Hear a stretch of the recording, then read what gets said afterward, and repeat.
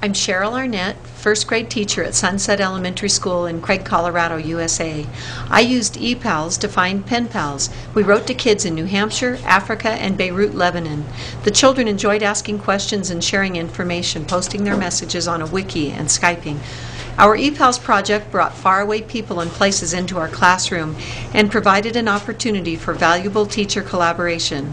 Rawya in Beirut opened my mind to a variety of projects and possibilities, as well as handy tools available online.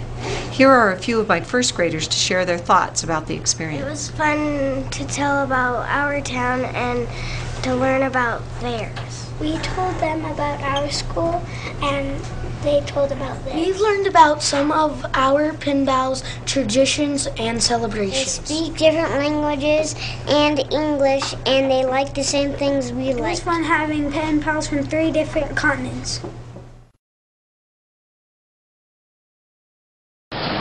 We wrote letters and shared stories with our friends. We watched a video how a friend made a snowman without snow. And we learned the idea very much. It was funny.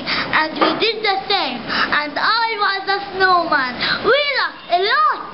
Our friends live in a very cold country. They and they show us how they play with snow, and we and we show them how we play with leaves.